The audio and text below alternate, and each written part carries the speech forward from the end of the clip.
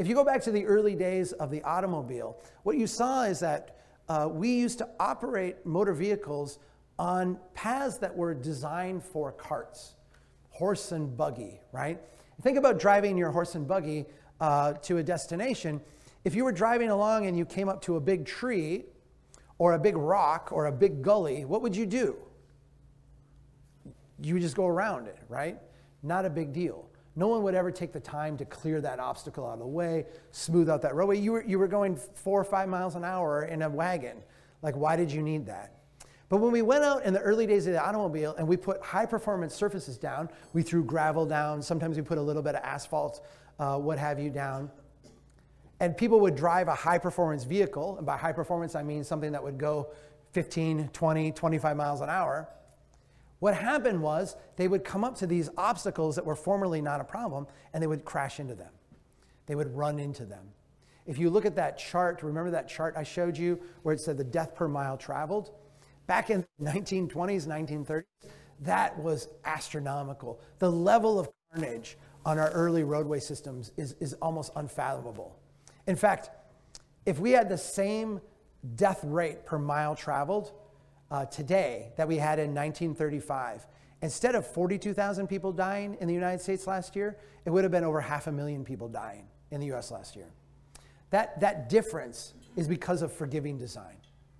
And what engineers did, and again, I think this is genius, I think it's brilliant, I think it's a deep insight, is they looked at the transportation network and they said, we can see that drivers, AKA human beings, are going to make mistakes. And because they make mistakes, things are going to happen. And we can, in our design, forgive those mistakes. We can accommodate them and, and design into our systems ways of making sure that those mistakes uh, are, don't, don't result in horrific crashes, don't result in trauma, don't result in death and injury. Let me show you exactly what I'm talking about, because this is actually very simple. Here's a two lane road, traffic going in each direction. As an engineer, I, I look at this and I understand that drivers are going to make mistakes. Drivers are going to uh, look down and change the radio. They're going to be distracted by the baby crying in the back seat. They're going to have something that comes up. And because of that, when they're driving, they're going to swerve a little bit. They're going to float a little bit if they're floating in their lane, we don't want them to go across the center line and hit an oncoming vehicle. And so what do we do? We forgive that mistake by giving them a, a little bit of room. We widen out the lanes. We give them a, a little bit more room to move. Now, we understand that uh, even when we give drivers a little bit of room to move, sometimes there will be an obstacle in the roadway. Sometimes they'll lose control completely. Sometimes they'll need to get over on the edge, what have you. Um, we don't want that movement uh, to result in them going off the roadway and having some type of trauma. And so what we do is we create like a recovery area on the side. We give them just a little bit of buffer room on the side. Now we know and understand that even with a wider lane and even with a little bit of buffer room, sometimes a driver in their vehicle is going to completely exit the roadway. They're going to be going at a high velocity. They're going to have a lot of built-in momentum. We want the kinetic energy of that vehicle to dissipate before they hit something that is not going to move. And so what we do is we clear out the obstacles on the edge of the roadway and give plenty of room for that car to, to in a sense, dissipate that energy. Now we have a forgiving design. We have forgiven the common mistakes that drivers make.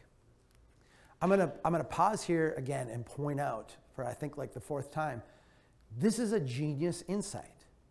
And this has saved millions and millions of lives. This approach, just pioneered here in North America, has been copied around the world and is the standard of design for highways. What is the problem with this approach? What's the problem with this mentality? Well, this works great on the open road where there's no humans outside of a vehicle, where there's nobody walking, where there's nobody biking. But once you bring this notion into the city, what happens? Once you bring this notion into the city, what we do is we signal to the driver that we got your back. We signal to the driver that we, we've built in all this compensation for mistakes that you might make. We've actually created lots of buffer room for you. We, we have designed and planned this for your high performance and comfort.